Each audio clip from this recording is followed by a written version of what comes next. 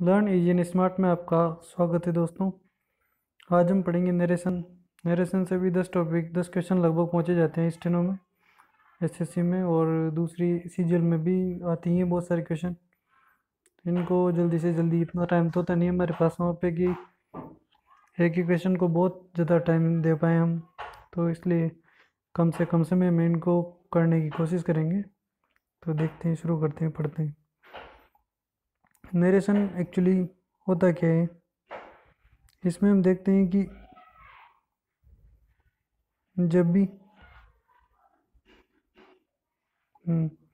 when a third person tells और narrate a incident in his own words it is called indirect narration हमने देखा है कि newspaper पढ़ते हैं, हम, हमारे पास बहुत सारे सेंटेंसेस होते हैं जिनमें डबल कोट्स के अंदर लिखा होता है, जैसे कि प्रधानमंत्री ने कहा, और जो भी उन्होंने कहा, वो चीज़ वैसी की वैसी एज इट इज़ लिख दी जाती है। जैसे कि श्री नरेंद्र मोदी ने किसी दिन कोई भाषण दिया कि मैं इस देश को बदल के रख दूँगा। तो दो तरीके हैं उस चीज़ को बताने के, अखबार वालों के पास। एक तो वो डबल कोट लगा के नरेंद्र मोदी कहते हैं, और फिर डबल कोट लगा के सीधा लिख देंगे कि मैं देश को बदल दूँगा। या फिर वो इनडायरेक्ट में अप्रत्यक्ष रूप से बोलते हैं कि श्री नरेंद्र मोदी ने कहा कि वे देश को बदल देंगे। तो ये जो दूसरा वाला टाइप है, इसे हम इनडायरेक्ट नरेशन कहते हैं, जिसमें हम किसी जो सब्जेक्ट और ऑब्जेक्ट के बाद में कोई भी फ़र्स्ट पर्सन और सेकंड पर्सन के बाद बीच में जो भी बात हो रही है, उसे हम कोई थर्ड पर्सन यानी कि जो एक पास्ट में किसी मतलब फ्यूचर में किसी अलग टाइम पे बोल रहा है पास्ट की सिचुएशन को, अपने ही शब्द, शब्दों में। तो ऐसी सिचुएशन को हम इनडायरेक्ट नरेशन के अंदर बनाते हैं। जैसे कि एग्जांपल देखते हैं, Seema said I go to temple Seema कहती है कि मैं मंदिर जाती हूँ। तो इसे अगर कोई दूसरा या तीसरा आदमी कहे, बाद में कभी तो ऐसे कहेगा कि Seema said that she went to temple Seema ने कहा कि वो मंदिर जाती थी, क्योंकि वो उसने पास्ट में कहा था वो फ्यूचर में कहेगा इस बात को तो। मुख्य बात देखते हैं first part of this sentence is known as reporting verb जो किसी भी सेंटेंस का, ये पहला पार्ट होता है, जिसमें कि सीमा सेड इसे हम रिपोर्टिंग वर्ब बोलते हैं। और जो सेकंड पार्ट होता है, ये आई गो टू टेंपल इसे हम रिपोर्टिंग रिपोर्टेड स्पीच बोलते हैं। आगे रूल देखते हैं हम कि कैसे इसको चेंज करेंगे हम। पहला रूल है कि we remove inverted comma and put connecting words like that etcetera according to sentence जैसे कि हम देखते हैं आगे। जब भी हमारे पास सिंपल सेंटेंस होता है, कोई सिंपल यानी कि अफर्मेटिव सेंटेंस या फिर एक्सक्लेमेटरी सेंटेंस अफर्मेटिव सेंटेंस मतलब Ram is going we are doing normal sentence और एक्सक्लेमेटरी सेंटेंस जैसे कि, जिनमें कोई आश्चर्य बताया जाता है, जैसे कि ओ God how foolish you are या फिर कोई भी एक्सीडेंट हो गया तो हम वहाँ पे जो रिएक्शंस देते हैं ओ no this is too bad ऐसी चीज़ें एक्सक्लेमेटरी सेंटेंसेस के अंदर आती है तो इनको कनेक्ट करने के लिए हम डेट का यूज़ करते हैं।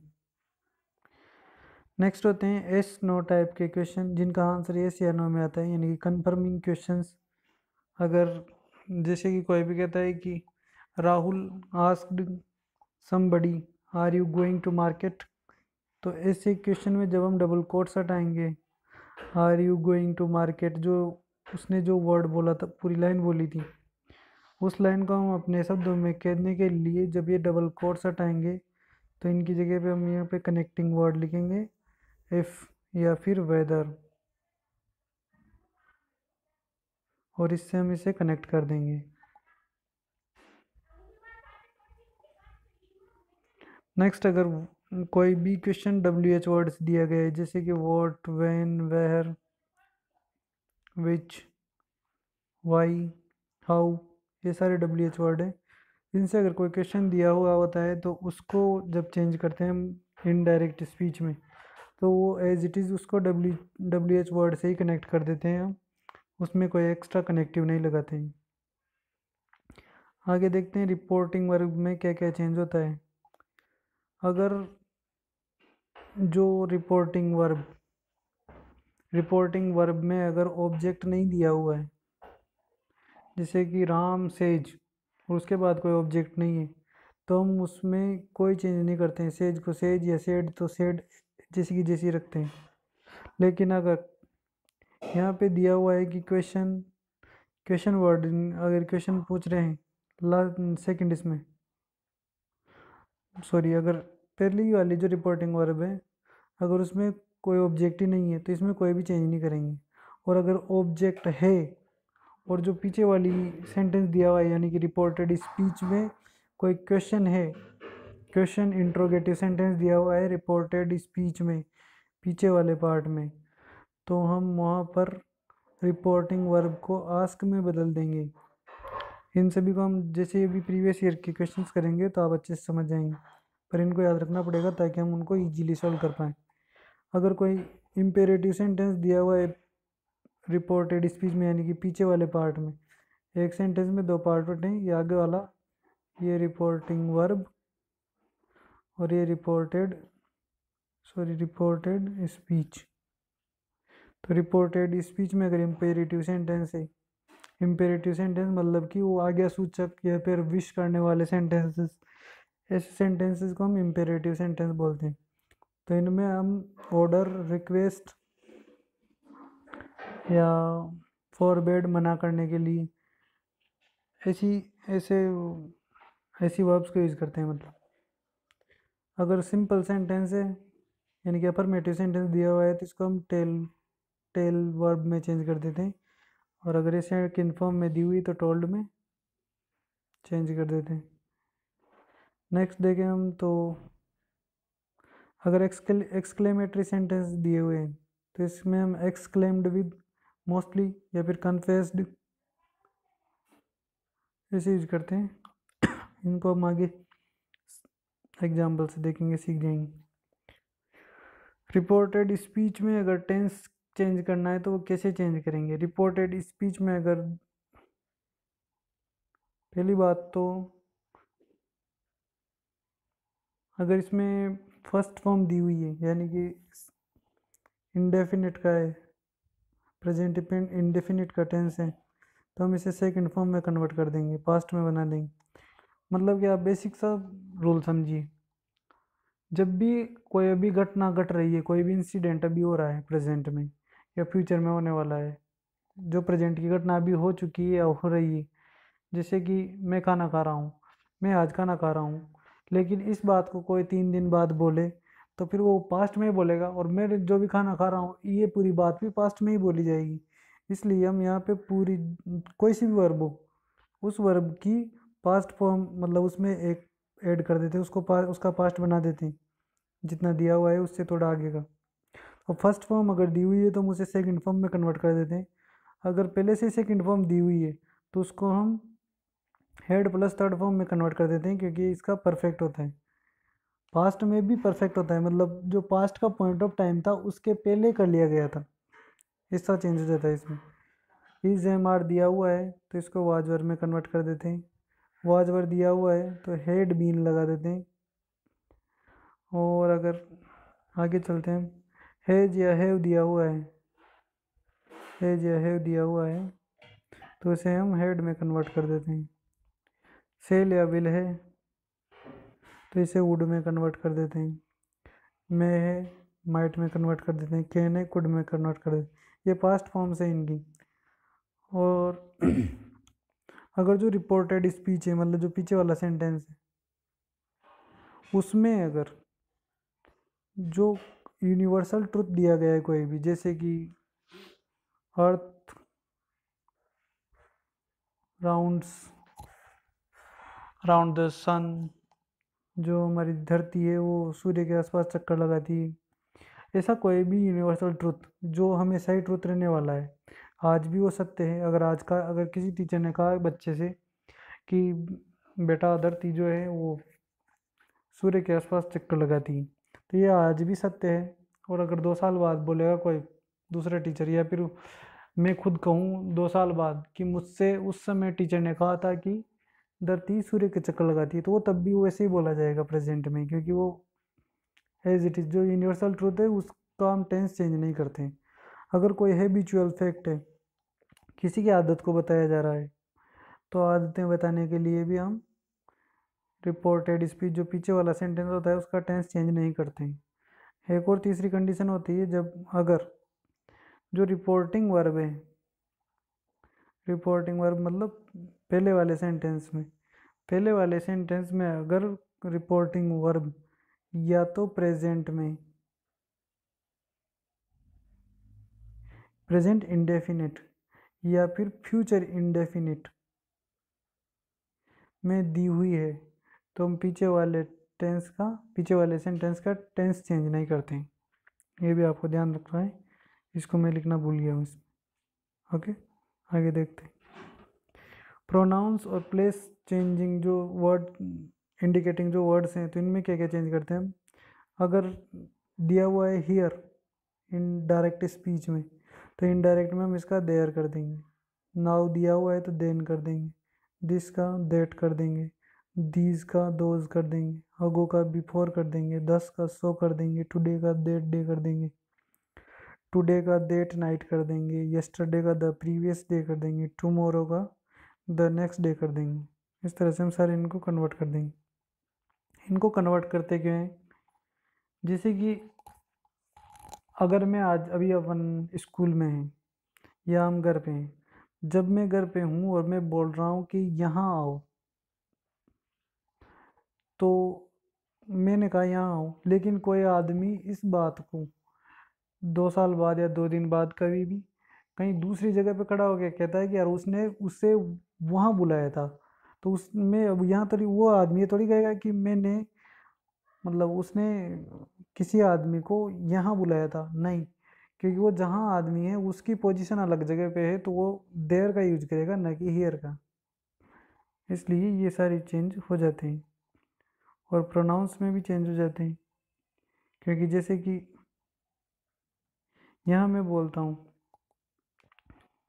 जैसे कि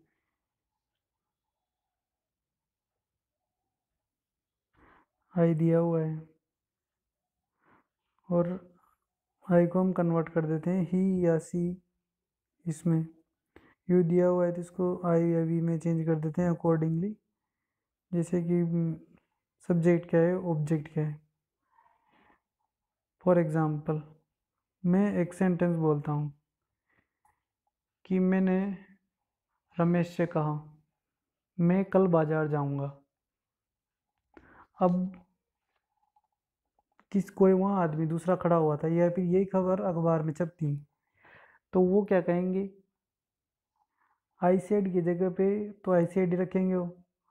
सॉरी इसको आई सेड को चेंज करना पड़ेगा। इसको जैसे ऐसे बोल देते हैं हम Narendra said to Mohan that I will go to market तो जब कोई अलग बंदा इस बात को अपने शब्दों में बोलता है तो कैसे बोलेगा कि नरेंद्र सेड और Narendra told to Surendra that he will go to market क्योंकि उसके लिए वो मैं नहीं रहे रहेगा।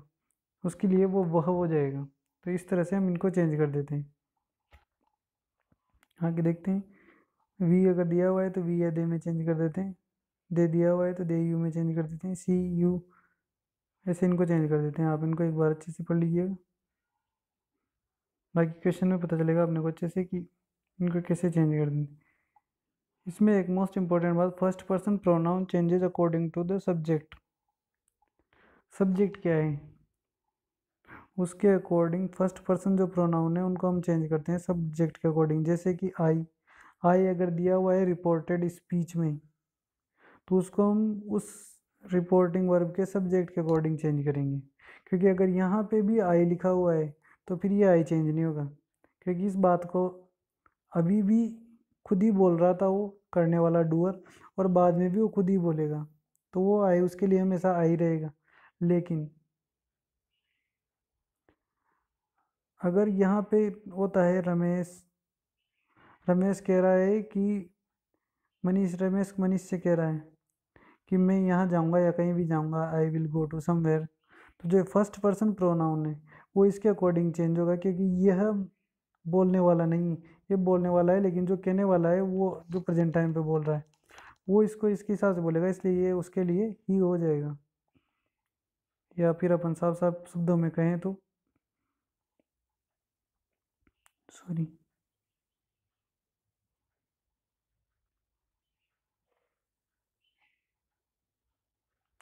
हम देखते हैं कि फ़र्स्ट पर्सन अगर प्रोनाउन कोई दिया हुआ है, और जो इधर का भी डूअर भी वही है, पहले वाले सेंटेंस का तो इसमें कोई चेंज नहीं होगा। और लेकिन अगर यहाँ पे पहले वाले में थर्ड पर्सन दिया हुआ है तो इसका भी पूरा थर्ड पर्सन में चेंज हो जाएगा। ठीक है? एग्जाम्पल्स देखते हैं कि Ram said to Mohan I will go to Mumbai. Ram ने मोहन से कहा कि मैं मुंबई जाऊँगा। अब देखते हैं हम, यहाँ पे ऑब्जेक्ट दिया हुआ है, मोहन। इसलिए हम ये वाली रिपोर्टिंग वर्ब हमें चेंज करनी पड़ेगी। और पीछे है जो सेंटेंस दिया हुआ है हमें, ये सिंपल सेंटेंस है अफर्मेटिव तो इसको हम टेल में चेंज करेंगे, यानी कि सेकेंड फॉर्म यहाँ पे टोल्ड हो जाएगी। चूँकि ये अफर्मेटिव सेंटेंस है, इसलिए यहाँ पे डेट यूज़ किया जाएगा कनेक्ट करने के लिए। आई आई अगर अब यहाँ भी राम जो राम है, अगर इसकी जगह पे भी आई होता तो हम इस आई को चेंज नहीं करते क्योंकि ये खुद ही बोल रहा है, अभी भी बाद में खुद ही बोलता। लेकिन जो बोल रहा है वो राम है। वो उसने एग्जैक्ट बोला था, तब वो ठीक था, लेकिन राम ने कहा, और उसको हम अपने शब्दों में कहें डबल कोट जब लगा रहे हैं हम तो इस बात को हम उसी के शब्दों में कह रहे हैं। लेकिन डबल कोट हटा देंगे तो इसे हम अपने शब्दों में कहेंगे। इसलिए हम इसको चेंज कर देंगे ही में, क्योंकि हमारे लिए हम राम नहीं हैं। हम तो कोई और हैं, राम अलग है, इसलिए हम इसे ही कर देंगे। और बाकी विल का वुड हमने पढ़ाई था विल का वुड कर देंगे और इससे चेंज कर देंगे। बाकी जैसा कि दिया हुआ है। अब आगे हम एसएससी के जो प्रीवियस ईयर्स के क्वेश्चन हैं उन्हें देखते हैं उनसे आपको अच्छे से समझ में आ जाएगा और उनको कैसे करना है। शॉर्टकट टाइप से ये हम देखेंगे। यहाँ पे जो पहला सेंटेंस दिया हुआ है वो दिया हुआ है कि my father said to me go now यहाँ पे जो पीछे वाला सेंटेंस है वो इम्पेरेटिव है गो नाउ किसी को ऑर्डर दिया जा रहा है। तो हमें सीधा सा देखना है कि हम्म, जब भी ये ऑर्डर दिए ऑर्डर कर रहा है तो ऑर्डर टू है तो सेम आना ही है सभी में। और बाकी हमने देखा था कि नाव जब भी दिया रहेगा तो उसको हम देन में चेंज कर देंगे। तो ये जिनमें नाव नाव दिया हुआ है, ये तो हो ही नहीं सकते। और ये लेटर वाला भी नहीं हो सकता। तो ये तो केवल हमने जो एक वर्ड पढ़ा था, उससे ही सही हो जाएगा। ऑप्शन सी करेक्ट हो जाएगा। हमने जो जो रूल्स मुख्य रूल्स और शॉर्टकट में देखे थे, उनको अपन याद रखेंगे तो उनसे अपन डायरेक्ट आंसर कर सकते हैं। नेक्स्ट क्वेश्चन को देखते हैं। The man said we are going to fly kites यहाँ देखें, हम तो इसमें ऑब्जेक्ट नहीं है, इसलिए सेड का सेड ही रहा है। और ये पीछे वाला जो सेंटेंस है, ये अफर्मेटिव में तो नीचे का कुछ भी डेट इसकी जगह पे डेट लग गया। कनेक्ट करने के लिए डबल कोट की जगह में अब आर दिया हुआ है तो आर का हमने रूल पढ़ा था कि इज़ एम आर अगर दिया हुआ है तो उसको हम वाज वर में चेंज कर देंगे। तो पहला तो आर पहले में तो आर ही दिया हुआ है, ये तो सही हो ही नहीं सकता। लास्ट वाले में भी आर दिया हुआ है, ये भी सही नहीं हो सकता। अब यहाँ पे वी दिया हुआ है। The man said we are going to fly kites आदमी ने कहा कि हम कट पतंग उड़ाने जा रहे हैं। लेकिन यह आदमी की बात को हमने जैसा का जैसा ही लिखा है यहाँ पे डबल कोट के अंदर। अगर हम अपने शब्दों में लिखें तो हम क्या कहेंगे कि the man said they are going to fly kites. वो जा रहे हैं, हम थोड़ी जा रहे हैं। यहाँ तो हमने बात को वैसा ही लिखा है जैसा उस आदमी ने कहा था। अब इनडायरेक्ट का मतलब हम उस उस बात को हमें हमारे शब्दों में लिखना है तो इसलिए हम यहाँ पे वी का दे कर देंगे। इसलिए ये वी वाला भी गलत हो जाएगा और बी वाला बिल्कुल सही देंगे नेक्स्ट क्वेश्चन देखते हैं। Kumar said it doesn't rain in January says अगर सेज है यहाँ पे तो पहली बात तो ये सेड वाले तो अगर प्रेजेंट में यहाँ पे ये है वर्ब तो इसका रिज़ल्ट भी प्रेजेंट में रहेगा क्योंकि इसका टेंस चेंज नहीं करते हैं हम पहले वाली का। इसमें केवल वर्ब चेंज करते हैं जिसके अकॉर्डिंग बोला जा रहा है। तो इसकी दूसरे वाले का भी सेट गलत हो जाएगा।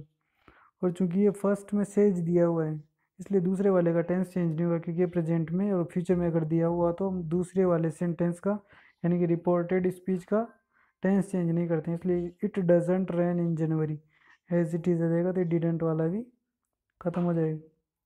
बच्चा सी ऑप्शन ट्रू आप क्वेश्चन को देख के उसका आंसर बता सकते हैं, ज़्यादा आपको टेंशन लेने की कोई ज़रूरत नहीं। राजीव सेड टू मी यहाँ पे देखा आपने कि इसमें पहले वाले में मी दिया हुआ है मतलब इसमें ये तो चेंज होएगा। रिपोर्टिंग वर्ब चेंज होगी सेट की जगह सेड नहीं आएगा और कुछ और आएगा। अब पीछे जो सेंटेंस है वो दिया हुआ है अफर्मेटिव सेंटेंस, सिंपल सेंटेंस। तो ये यहाँ पे टोडल है इसको। तो ये जो डी ऑप्शन है और ए ऑप्शन है तो ऐसे कट गया।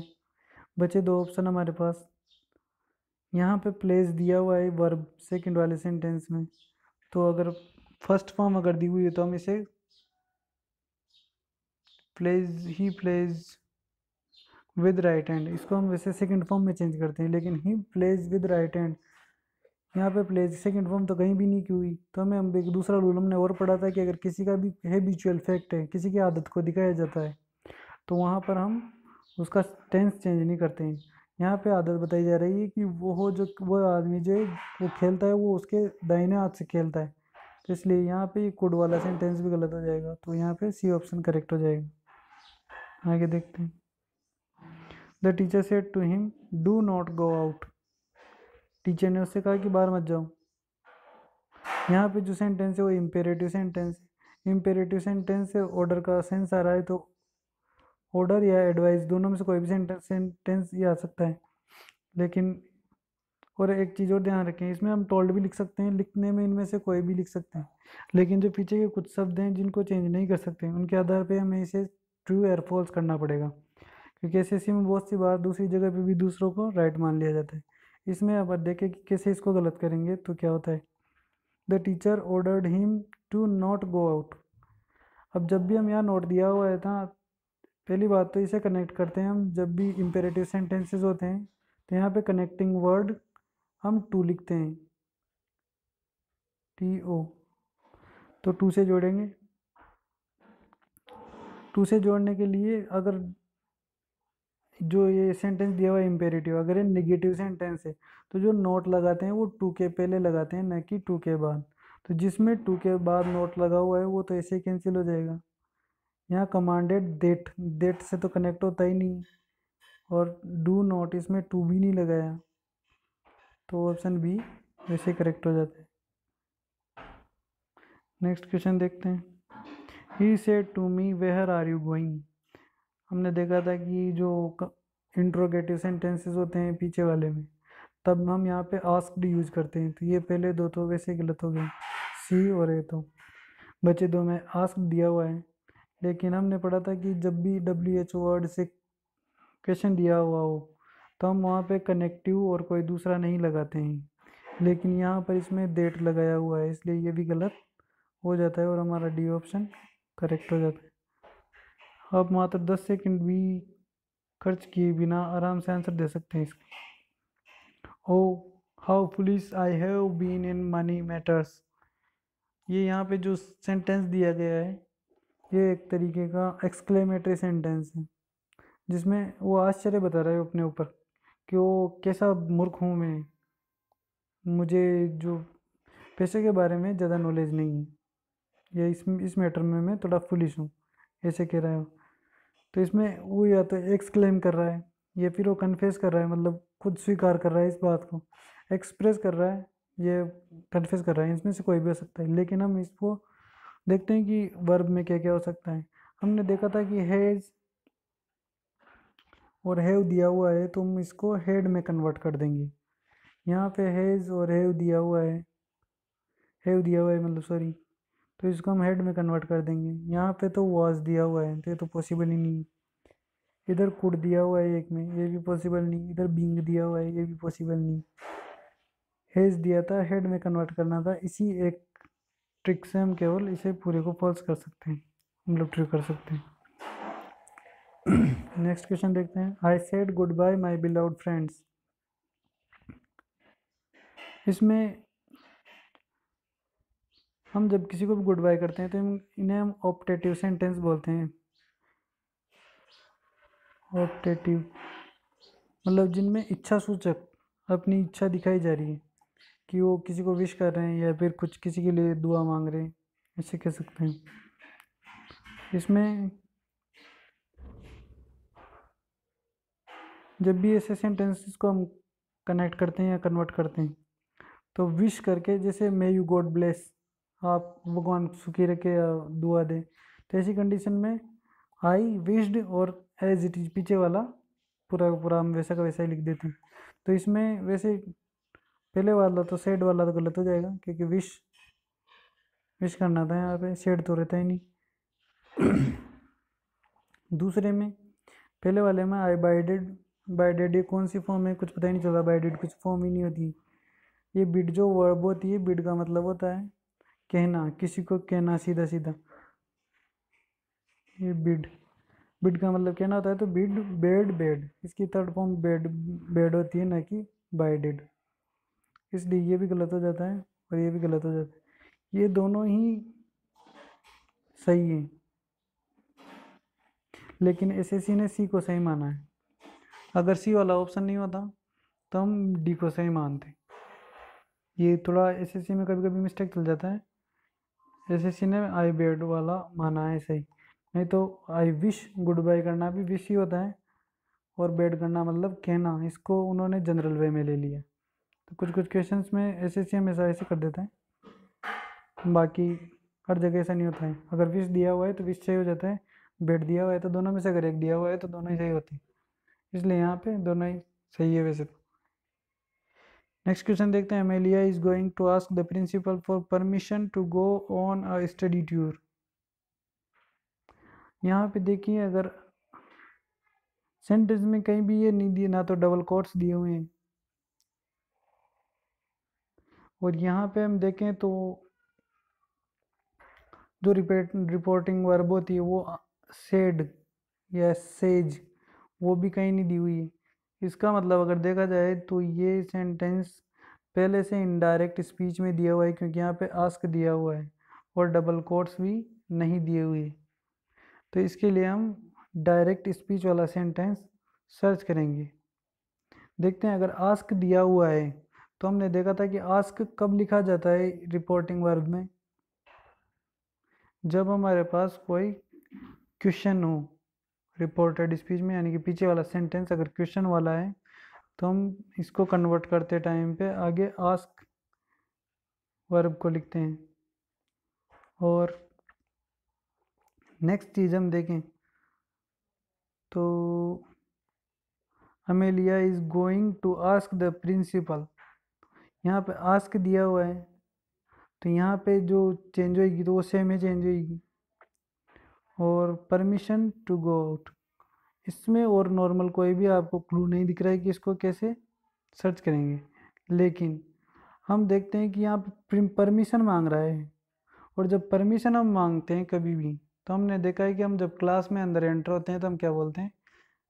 मे आई कम इन या मे आई गो टू वॉशरूम मे जो शब्द है, इसको चेंज करते हैं हम तो फिर चेंज कर देते हैं माइट में।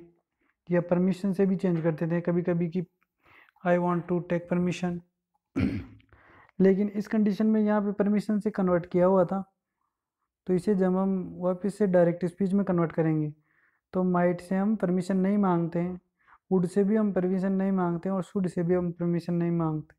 इसलिए हम परमिशन मांगते हैं किसी से भी, सिर्फ़ मे से, may I go to may I do this work anything else इसलिए यहाँ पे डी ऑप्शन करेक्ट हो जाए। क्योंकि परमिशन अगर इसमें यहाँ पे लिखा हुआ है मेंशन किया हुआ है तो परमिशन हम केवल मे से ही मांगते हैं तो डायरेक्ट स्पीच में कहीं ना कहीं मे रहा होगा।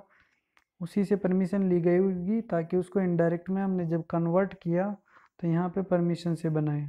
इसलिए इसका आंसर ऑप्शन डी करेक्ट हो जाएगा।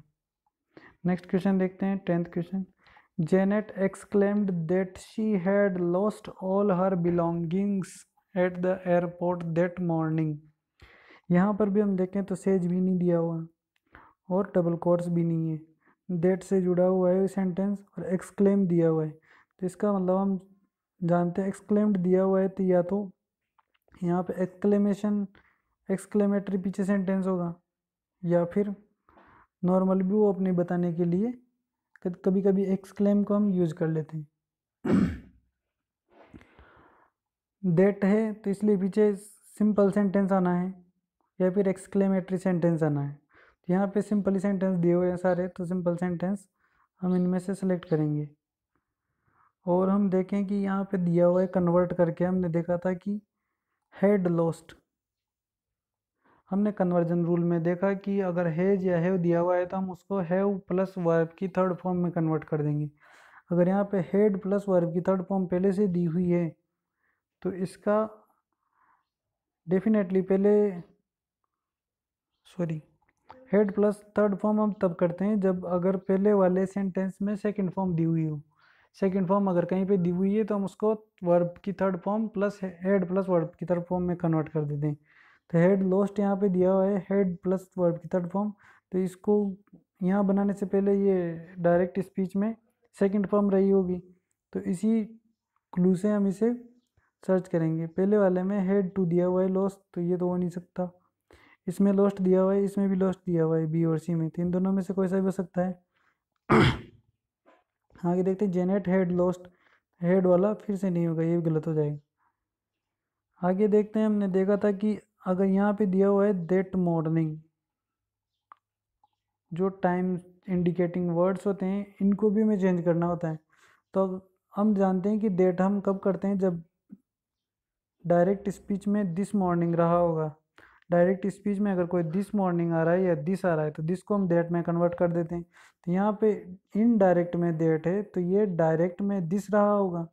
इसलिए ये वाला सी वाला ऑप्शन भी इनकरेक्ट हो जाएगा और बी ऑप्शन हमारा करेक्ट आंसर हो जाएगा। इस तरह से इन क्वेश्चंस को हम जल्दी से जल्दी सॉल्व कर सकते हैं। आई होप आप सभी को ये समझ में आया होगा। आपको मुख्य बात जो ध्यान रखनी है इस वीडियो से वो ये कि जो भी जो भी हमारे पास रूल्स हैं, मुख्य तो टेंस कन्वर्जन रूल्स नेक्स्ट जो हमारे पास प्रोनाउंस के रूल्स हैं, बहुत सी जगह प्रोनाउंस के रूल्स से हम क्वेश्चन को ट्रू फॉल्स कर सकते हैं। और तीसरा जो है टाइम इंडिकेटिंग वर्ड्स और चौथी हमारे पास जो रिपोर्टिंग वर्ब है, वो किस टाइप के यानी और एक कनेक्टिंग वर्ड्स इन पाँचों चीज़ों को ध्यान रख के आप सीधे से झट से आंसर को टिक कर सकते हैं। देख के कि कौन से में मिस्टेक क्योंकि चारों ऑप्शंस आपको दिए हुए होंगे। सेम होते हैं। एक सेंटेंस करेक्ट होना है उनमें से। जो फॉर्मेशन है वो तो आपको पहले से मिल जाएगी बनी हुई, लेकिन चार में कहीं ना कहीं वो जो रूल्स हैं, वो नहीं मिलेंगे। इससे आप सीधा उनको टिक करके आगे बढ़ सकते हैं। वीडियो को एंड तक देखने के लिए बहुत बहुत धन्यवाद। अगर आपको इसकी जैसे वीडियोस और चाहिए या प्रीवियस ईयर्स के शॉर्ट या क्वेश्चंस पे आपको वीडियो चाहिए तो आप कमेंट करके बता सकते हैं। और आपको कोई इसमें परेशानी हो तो आप कमेंट करके पूछ सकते हैं। अगर आपको ये वीडियो अच्छा लगा हो तो लाइक करें और अपने दोस्तों के साथ ज़रूर शेयर करें। और अगर ऐसे वीडियोस आप देखना चाहते हैं तो लर्न इजी एंड स्मार्ट हमारे चैनल को सब्सक्राइब करें। बहुत बहुत धन्यवाद अंत तक देखने के लिए। धन्यवाद।